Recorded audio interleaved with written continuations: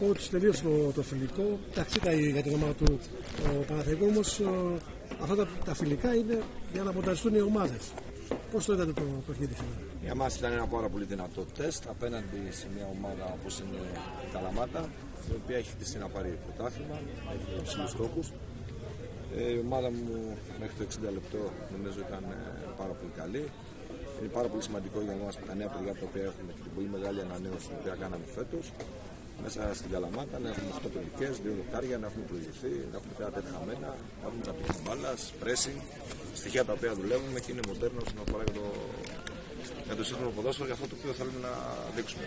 Είμαι πάρα πολύ ευχαριστημένος στα παιδιά.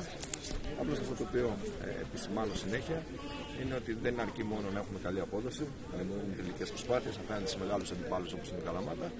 Πρέπει να κερδίζουμε κιόλας και νομίζω ότι σιγά σιγά ε, βάσει τη εικόνας του φιλικού την οποία έχουμε μέχρι τώρα, είμαστε μια ομάδα που πραγματικά είναι σε πάρα πολύ καλό δρόμο και ευελπιστούμε σύντομα να ξεκινήσει το πρωτάθλημα να μπορέσουμε να βγάλουμε πράγματα μέσα μας.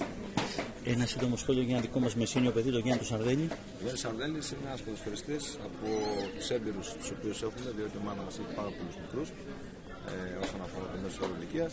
Είναι ένα παιδί το οποίο ε, είναι βασικό τέλος της ομάδας μας του στηρίζουμε, τον, τον πιστεύουμε πάνω απ' όλα και έχουμε κάποια στιγμή να κάνει την καριέρα την οποία είναι ικανός να την κάνει. Θα μου επιτρέψει να σου πω κάτι, Σωτήρη, πόσο πιστεύεις εύκολο είναι αυτό να γίνει για όλα αυτά τα παιδιά, όλα όσα είναι στις ομάδες της Β. Πλέον το ποδόσφαιρο, οι μεγάλες ομάδες του εκπροσωπούν διαφορετικά. Έχουν τις β' ομάδες, ε, τους δίνουν πάρα πολλές ευκαιρίες ώστε να εξελιχθούν.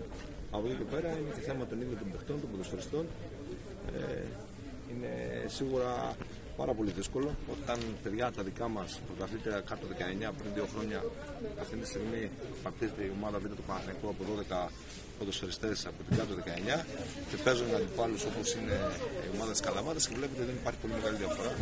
Είναι ανταγωνιστική. Άρα ο Παναθηναϊκός στηρίζει αυτά τα παιδιά και νομίζω ότι το μέλλον όλο τους ανήκει. Κότσο για τη μεγάλη ομάδα, με πω δύο λόγια. Πέτρε δεν κατάφερε να πάρει το πρωτάθλημα. Αυτό δεν ξέρω τι βλέπετε εσείς και για το παιχνίδι της Ευρώπης που. Η μεγάλη ομάδα, ο Παναθηναϊκός είναι ένας πολύ μεγάλος σύλλογος, ανθίζει. Ε, κάθε χρόνο που περνάει είναι καλύτερος. Φέτος είναι καλύτερος και ελπιστούμε όλοι φέτος να κατακτήσει το πρωτάθλημα και να κάνει μια πολύ μεγάλη πορεία στην Ευρώπη. Όλα δείχνουν ότι έχει τα φόντα και είναι ικανή να το κάνει. Για τις ομάδες που κληρώθηκε. Τις ομάδες που κληρώθηκε, η ομάδα του Παναθηναϊκού μπορεί να κερδίσει οποιαδήποτε ομάδα αυτή τη στιγμή στην Ευρώπη και το έχει αποδείξει στα στα play-off του Champions League ότι είναι μια πάρα πολύ καλή ομάδα και είναι σε πάρα πολύ καλό δρόμο. Ευχαριστώ πολύ.